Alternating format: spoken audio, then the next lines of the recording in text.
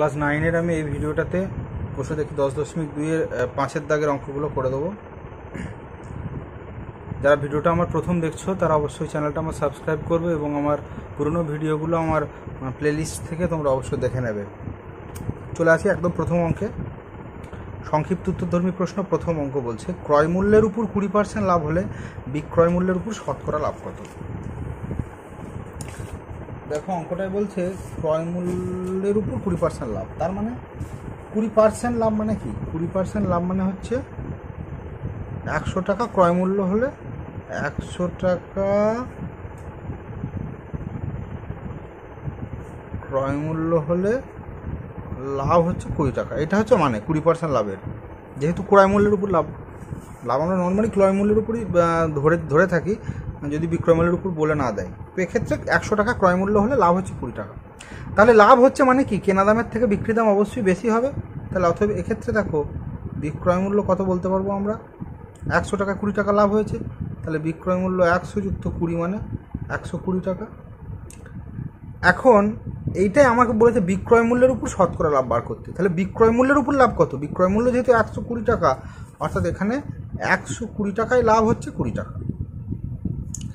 একশো কুড়ি টাকায় লাভ কুড়ি টাকা, বিক্রয় মূল্য হিসাবে। এইটাই আমার শতকরা মানে বিক্রয় মূল্য একশো কুড়ি টাকায় লাভ কুড়ি টাকা, বিক্রয় মূল্য একশো এক টাকা হলে কত হতো? বিক্রয় মূল্য একশো টাকা হলে কত হতো? এক্ষেত্রে বিক্রয় মূল্য একশো কুড়ি টাকা হলে লাভ হয় কুড়ি টাকা। এক টাকায় লাভ, দেখো একশো কুড়ি টাকার উপর বার করছি এবং একশো কুড়ি টাকাটা ছিল বিক্রয় মূল্য। ওই জন্য এটা কিন্তু বিক্রয় মূল্যের উপর লাভ বেরোচ্ছে। এটা বিক্রয় মূল্যের উপর। এবার বিক্রয় মূল্যের উপর শতকরা লাভ মানে কি? যদি বিক্রয় মূল্যটা একশো টাকা হতো, তখন কত লাভ হতো? সেটা হয়ে যাবে বিক্রয় মূল্যের উপর শতকরা লাভ। অর্থাৎ এক্ষেত্রে একশো দিয়ে গুণ হবে। এটা কোটি দুই ছয়ে বারো, দুই তিনে ছয়, দুই পঞ্চাশে একশো, পঞ্চাশ বাই দুই, এটা তোমরা ভাগ করলে পাবে ষোলো পূর্ণ দুইয়ের তিন। অর্থাৎ ষোলো পূর্ণ দুইয়ের তিন পার্সেন্ট বিক্রয় মূল্যের উপর লাভ। অতএব বিক্রয় মূল্যের উপর লাভ ষোলো পূর্ণ দুইয়ের তিন পার্সেন্ট অতএব বিক্রয় মূল্যের উপর লাভ হচ্ছে ষোলো পূর্ণ দুইয়ের তিন পার্সেন্ট। তারপরের অঙ্কটা কি বলছে? এই অঙ্কটা এবার বলছে, দেখো, এখানে বিক্রয় মূল্যের উপর কুড়ি পার্সেন্ট লাভ হয়েছে। বিক্রয় মূল্যের উপর কুড়ি পার্সেন্ট লাভ হলে ক্রয় মূল্যের উপর শতকরা লাভ বার করতে বলেছে। তাহলে বিক্রয় মূল্যের উপর কুড়ি পার্সেন্ট লাভ। তাহলে অঙ্কটা হচ্ছে, বিক্রয় মূল্যের উপর কুড়ি পার্সেন্ট লাভ। এটা মানে কি? তার মানে একশো টাকা বিক্রয় মূল্য হলে লাভ হচ্ছে কুড়ি টাকা। একশো টাকা বিক্রয় মূল্য হলে লাভ কুড়ি টাকা। আচ্ছা লাভ হয়েছে এবং একশো টাকা বিক্রয় মূল্য। তাহলে ক্রয় মূল্যটা কী হবে বলো তো? লাভ কখন হয়? যখন কেনা দামটা বিক্রি দামের থেকে কি কম হয়? তাহলে এখানে ক্রয় মূল্য কিন্তু হবে আশি টাকা। তবেই তোমার লাভ হবে। বেশি টাকা বিক্রি করলে তাহলে ক্রয় মূল্য এক্ষেত্রে কিন্তু একশো মাইনাস কুড়ি সমান আশি টাকা করব। এইটা একটু বুঝে নিতে হবে। আগের অঙ্কটা যেমন কী ছিল? ক্রয় মূল্যটা একশো টাকা ধরেছিলাম, কুড়ি টাকা লাভ হয়েছিল। তাহলে বিক্রয় মূল্যটা নিশ্চয়ই বেশি ছিল, ওই জন্য লাভ হয়েছিল। এক্ষেত্রে বিক্রয় মূল্যটা একশো টাকা ধরছি, লাভ হচ্ছে কুড়ি টাকা। তাহলে ক্রয় মূল্যটা নিশ্চয়ই কম। তাহলে এখন দেখো, এটা ক্রয় মূল্যের উপর এবার লাভ বার করব। তাহলে আশি টাকায় লাভ কুড়ি টাকা। আশি টাকায় লাভ সমান কুড়ি টাকা। এক টাকায় লাভ কত? কুড়ি বাই আশি টাকা। একশো টাকায় লাভ হচ্ছে কুড়ি বাই আশি ইন্টু একশো টাকা।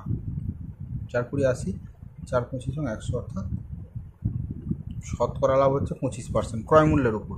অতএব যেটা কুড়ি পার্সেন্ট বিক্রয় মূল্যের উপর লাভ হবে, সেটা ক্রয় মূল্যের উপর লাভ পঁচিশ পার্সেন্ট আগের অঙ্কটা দেখো।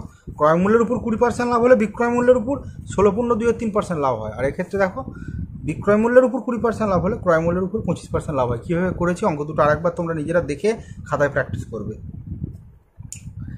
তিনের অঙ্কটা বলছে যে একশো দশটি আম বিক্রি করে একশো কুড়িটি আমের ক্রয় মূল্য পেলে শতকরা লাভ কত? দেখে নাও, তিনের অঙ্কটা কী বলছে? একশো দশটি আম বিক্রি করে একশো কুড়িটি আমের ক্রয় মূল্য পেলে শতকরা লাভ কত? অঙ্কটা আমি একটু লিখে নিচ্ছি। একশো দশটি আম বিক্রি করে একশো দশটি আম বিক্রি করে একশো কুড়িটি আমের ক্রয় মূল্য পেলে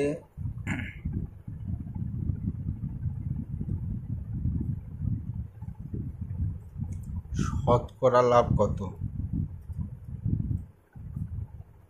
আচ্ছা প্রথমে একটা জিনিস ভালো করে অঙ্কটা পড়ে দেখে নাও, যে আমি একশো দশটা আম বিক্রি করে সে লাভ কি করেছে? সে কুড়িটা আমের যা দাম, সেই দামটা লাভ করেছে। তার মানে একশো আশিটি আমে সে লাভটা কি করেছে? কুড়িটি আমের দাম, সরি, একশো দশ, একশো কুড়ি থেকে একশো দশ, দশটি আমের, সরি দশটি আমের দাম। দাম বলতে এখানে ক্রয় মূল্য। তাহলে একশো দশটা আমে সে লাভ করেছে, দশটা আমের দাম। এখন দেখো, যদি আমি একটি আমের যদি ক্রয় মূল্য ধরি, একটি আমের দাম বা ক্রয় মূল্য, একটি আমের দাম যদি ধরো এক্স টাকা ধরি, তাহলে জিনিসটা কি দাঁড়াচ্ছে? তাহলে একশো দশটা আমের দাম কত? একশো দশ এক্স টাকা আর দশটা আমের দাম সমান শুধু দশ এক্স টাকা। তার মানে একশো দশ এক্স টাকায় আমার দশ এক্স টাকা লাভ হয়েছে। কারণ এই আমটা তো আমায় কিনতে হয়েছে, কিনে বিক্রি করছে। তাহলে একশো দশটা সে যা, যে দামে পেয়েছিল মানে একশো দশ টাকা, একশো দশ এক্স টাকা পেয়েছে। আর লাভ করেছে দশ এক্স টাকা। তাহলে অতএব একশো দশ এক্স টাকায় লাভ সমান দশ এক্স টাকা। এক টাকায় লাভ দশ এক্স বাই একশো দশ টাকা। একশো টাকায় লাভ সমান দশ এক্স বাই একশো দশ ইন্টু একশো টাকা। শূন্য সরি একশো দশ এক্স তলায় এক্স আসবে এক্স এক্স কেটে যাবে। আচ্ছা শূন্য শূন্য কাটলাম মানে একশো বাই এগারো। ভাগ করলে পাবে ন এগারো নিরানব্বই, অর্থাৎ ন পূর্ণ একের এগারো। টাকা এটা অ্যান্সার অর্থাৎ শতকরা লাভ অতএব শতকরা লাভ ন পূর্ণ একের এগারো টাকা বা লাভ সমান ন পূর্ণ একের এগারো পার্সেন্ট। চলে যাব চারের অঙ্কটায় চারের অঙ্কটা কী বলছে দেখো?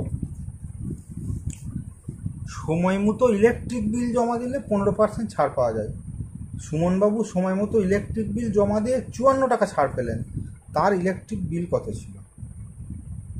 এটা ত্রৈরাশিকেও করতে পারি এক্স ধরেও করতে পারি। আমি দুরকমভাবেই দেখিয়ে দিচ্ছি, দেখো। বলেছি চারের অঙ্কটা যে সময় মতো ইলেকট্রিক বিল জমা দিয়ে পনেরো পার্সেন্ট ছাড় পেয়েছে। আচ্ছা বিলের উপর পনেরো পার্সেন্ট ছাড়, এটার মানে কি? মোট বিল যদি একশো, ধরো, মোট বিল যদি একশো টাকা হয়, সেক্ষেত্রে ছাড় পাচ্ছে পনেরো টাকা। আর অঙ্কটাই বলেছি চুয়ান্ন টাকা ছাড় পেয়েছে, তাহলে মোট বিল কত? এটা চৌরাশিকেও করতে পারো। সরল সম্পর্ক, অতএব নির্ণেয়, মোট বিল সমান আমি কি জানি, জিজ্ঞাসা চিহ্নর উপরে যেটা থাকবে, এবং এটা সরল সম্পর্ক হলে এটা উল্টে যায়, উপরে চুয়ান্ন, নিচে পনেরো, কাটাকাটি করলে তিন, পাঁচ, পনেরো, তিন, আঠেরো চুয়ান্ন, পাঁচ দুগুণের দশ, পাঁচ, কুড়ি, একশো আট, কুড়ি, একশো ষাট টাকা, অর্থাৎ এইভাবেও করা যেতে পারে। আবার যদি এক্স দিয়ে করি দেখো, সেক্ষেত্রে ধরি মোট বিল যদি এক্স টাকা ধরি ধরি মোট বিল সমান এক্স টাকা। তাহলে অতএব দেখো, ছাড় পেয়েছে কত? ছাড় মানে কত? এক্সের পনেরো পার্সেন্ট ছাড় পেয়েছে। এক্সের এই ছাড়টাই কত টাকা? চুয়ান্ন টাকা। এখান থেকে এক্সের যে মান বার করব, চুয়ান্ন ইন্টু একশো বাই পনেরো, পাঁচ তিনে পনেরো, পাঁচ সরি পাঁচ তিনে পনেরো, এটা পাঁচ কুড়ি একশো হবে। কী করলাম? চুয়ান্ন পনেরো। পাঁচ তিনে পনেরো ও বা ওইভাবে তিন দিয়ে কাটছি। তিন পাঁচে পনেরো, তিন আঠেরো চুয়ান্ন, পাঁচ কুড়ি একশো, আঠেরো দুগুণে ছত্রিশ ষোলো লেগে ফেলেছে, আঠেরো দুগুণে ছত্রিশ। তিনশো ষাট টাকা হচ্ছে মোট বিল। আচ্ছা এটা একটু খেয়াল করো, এটা আট দুগুণে, আঠেরো দুগুণে ছত্রিশ, তিনশো ষাট টাকা হবে। অর্থাৎ তিনশো ষাট টাকা হচ্ছে মোট বিল। পাঁচের অঙ্কটা পাঁচের অঙ্কটা কী বলছে? বলছে বিক্রয় মূল্যের উপর কুড়ি পার্সেন্ট ক্ষতিতে একটি দ্রব্য চারশো আশি টাকায় বিক্রি করা হলে দ্রব্যটির ক্রয় মূল্য কত? এটা এক্স ধরেও করতে পারব। আবার একশো দিয়েও করতে পারব। দেখা যাক। বিক্রয় মূল্যের উপর কুড়ি পার্সেন্ট ক্ষতি হয়েছে। মানে একশো টাকা যদি বিক্রয় মূল্য হয়, তাহলে ক্ষতি হচ্ছে কুড়ি টাকা। দেখো এটাকে আমি দুরকমভাবেই করে দিচ্ছি। তোমাদের যেটা সুবিধা হবে তোমরা সেইভাবে করবে। বিক্রয় মূল্যের উপর কুড়ি পার্সেন্ট ক্ষতি।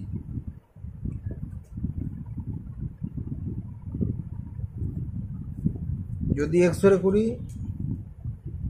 তাহলে কি হবে? ধরি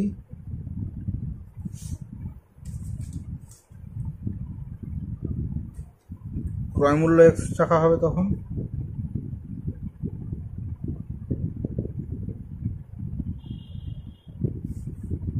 তারপর কি হয়েছে? আচ্ছা ক্ষতিটা বলেছে বিক্রয় মূল্যের উপর। আচ্ছা এখানে দেখো একটু অঙ্কটা। বিক্রয় মূল্যের উপর কুড়ি পার্সেন্ট ক্ষতি বলে দিয়েছে। বিক্রয় বিক্রয় মূল্যের উপর কুড়ি পার্সেন্ট ক্ষতি বলেছে। তার মানে কি? বিক্রয় মূল্য একশো টাকা হলে ক্ষতি হচ্ছে কুড়ি টাকা। তাহলে তখন ক্রয় মূল্য কত? ক্ষতি কখন হয়? যদি ক্রয় মূল্য বিক্রয় মূল্য থেকে কম হয় মানে বেশি হয় মানে একশো যুক্ত কুড়ি সমান একশো কুড়ি টাকা যদি বিক্রয় মূল্য হয়, তখনই একমাত্র কিন্তু ক্ষতি হবে। তাহলে অতএব এখান থেকে পাচ্ছি দেখো বিক্রয় মূল্যের উপর কুড়ি পার্সেন্ট ক্ষতি মানে হচ্ছে বিক্রয় মূল্য যদি একশো টাকা হয়, সেক্ষেত্রে ক্রয় মূল্য হচ্ছে একশো কুড়ি টাকা। আর আমার অঙ্কটাই বলেছে বিক্রয় মূল্য হচ্ছে চারশো আশি টাকা। তাহলে আমার ক্রয় মূল্য কত? অতএব নির্ণয় ক্রয় মূল্য এগুলো সবই সরল সম্পর্ক। সরল সম্পর্ক হলে কী হয়? একশো কুড়ি জিজ্ঞাসা চিহ্নের উপর যেটা থাকবে, আর এটা সরল সম্পর্ক বলে উল্টে যাবে, অর্থাৎ চারশো আশি বাই একশো। এই শূন্য কাটলো, এই শূন্য কাটলো, অর্থাৎ আটচল্লিশকে বারো দিয়ে গুণ করে যেটা হবে, সেটা দেখে নাও। আট দুগুণে ষোলো, ছয় হাতে এক চার দুগুণে এখানে ছিয়ানব্বই, আট একে আট, চার একে চার, ছয়, নয় আর একটা সতেরো, সাত হাতে পাঁচশো ছিয়াত্তর টাকা, অর্থাৎ ক্রয় মূল্য হচ্ছে পাঁচশো ছিয়াত্তর টাকা।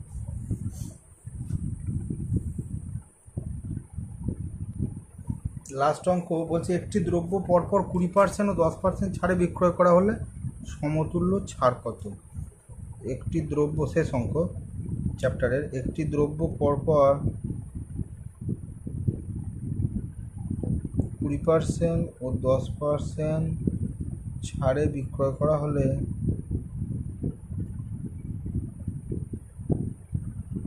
সমতুল্য ছাড় কত? এর মানেটা কি? মানে কোনো একটা জিনিস প্রথমে কুড়ি পার্সেন্ট ছাড় দিচ্ছে, দিয়ে কুড়ি পার্সেন্ট ছাড় দেওয়ার পর যে দামটা হচ্ছে, তার উপরে আবার দশ পার্সেন্ট ছাড় দিচ্ছে। দিয়ে শেষ যে দামটা হচ্ছে, সেই দামটা পেলে প্রথম দামের সঙ্গে যে পার্থক্য, সেটাই হচ্ছে সমতুল্য ছাড়। অর্থাৎ একবার দেখিনি অঙ্কটা একবার করলে জিনিসটা পরিষ্কার হয়ে যাবে। ধরো, আমি এখানে একশো ধরে করব অঙ্কটা খুব ইজি হয়ে যাবে তাহলে। ধরি, দ্রব্যটির দাম সমান কুড়ি টাকা, এই একশো টাকা। তাহলে প্রথমে কী করছে? কুড়ি পার্সেন্ট ছাড় দিচ্ছে। তাহলে কুড়ি পার্সেন্ট ছাড় দেওয়ার পর কত দাম হবে? তাহলে একশো টাকায় কুড়ি টাকা ছাড় মানে একশো মাইনাস কুড়ি মানে আশি টাকা। ওটা আর বিয়োগ করে দেখাচ্ছি না, মুখে মুখে হয়ে যাচ্ছে। এরপরে কিন্তু এই আশি টাকার উপর আবার দশ পার্সেন্ট ছাড় দিচ্ছে। তাহলে আশি টাকার উপর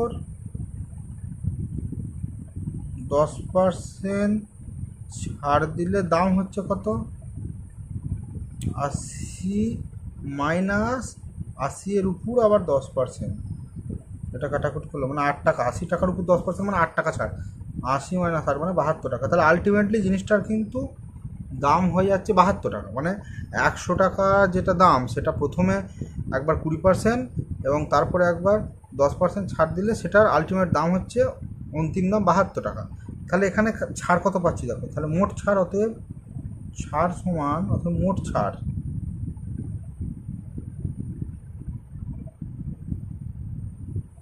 একশো টাকার জিনিসটা আমি বাহাত্তর টাকায় দু দুবার ছাড় দেওয়া মানে একবারে যে ছাড়টা পাচ্ছি সেটা হচ্ছে দুই আট দশ দশ, এক আট মোট ছাড় সমান আটাশ টাকা।